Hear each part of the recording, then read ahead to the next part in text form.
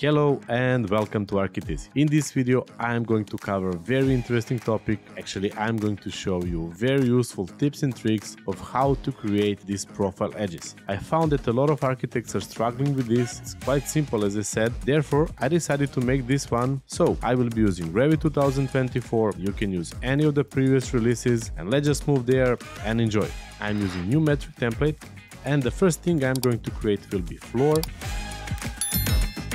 and we'll make some round edges here. Let's trim this. So this is fine. Let's go to 3d and I will just turn off annotation categories. In Revit we have one very useful tool related to the slab and it's called slab edges. And you can find it if you go to the floor and then you go to the floor slab edge. And what you have to do is just to pick the edge where you would like to place your slab edge. You see this one goes inside, I will click OK and then on this arrow so it's going to flip it on the other hand. Uh, actually on the other side, sorry.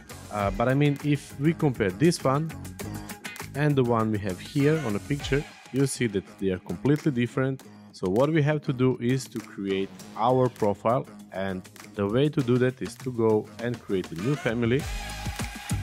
So for this one I will be using metric profile. And then here I'm going to sketch our profile. I will be using this positive quadrant and I will take line.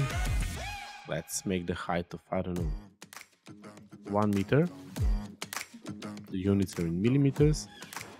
I will make this to be 30 degrees angle. And we'll just mirror this we'll make a trim and then I'm going to save as the family.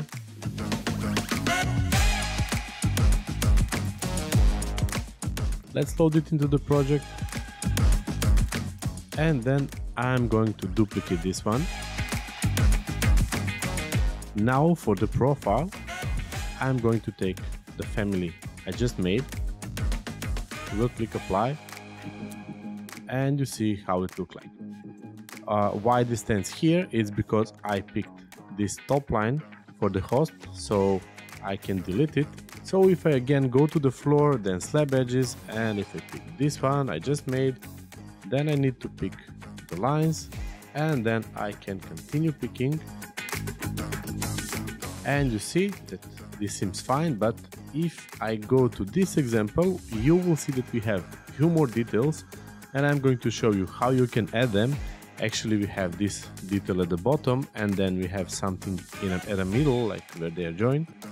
So let's just edit our family and what I'm going to do will be to move this one let's say for 50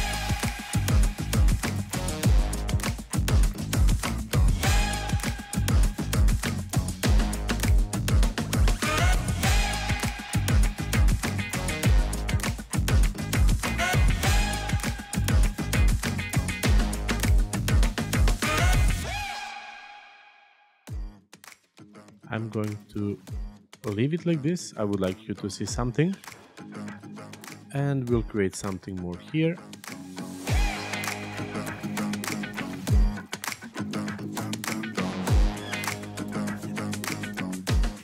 So let's load it into the project, overwrite existing version and its parameter values. But you see there is a mistake, so it's going to delete everything. And the mistake is, and it could happen to you, that this line goes down so it doesn't create a closed profile. So let's be aware that you have a closed profile. Now if I go here and if I just make undo in our project file and if I again go to the family file and load it into the project and again override uh, values you see that it's created the family correctly and you see that our profile look way way better let me just make some ambient shadows so you see it better how it looks like. And there is one more thing we need to do and it's to create railing. So let's go here and I will just sketch path will take I don't know let's take this railing one. I'm, I'm gonna offset this for 50 for example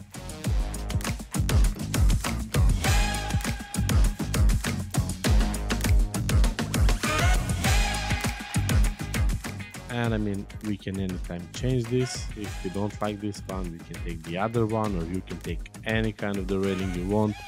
The power of 2D profiles in Revit is huge and you know you can take this way to create anything you want. For example if you would like to create something like this you can make it the same way as I did for this one but let me show you that as well so you don't need to test by yourself. You can watch this one and test it and really hope that after those two examples everything is going to be clear about slab edges and 2D profiles to you.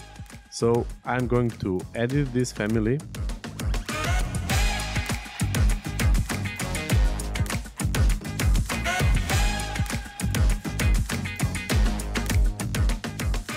And we'll just offset this for 200 and we'll make a save as so this one is going to be O2 let's load it. And I will duplicate everything. We'll duplicate this one as well. So here for the profile I will place the second one. So you see, very easy to do. So I mean, you could really have a lot of flexibility with using 2D profiles in your Revit projects. And you know, it could apply to really a lot of things in Revit. If you have any questions or any thoughts about this, feel free to write in the comments. I really would like to hear your opinion about this. And if you would like to support us, just like this video and subscribe to our channel.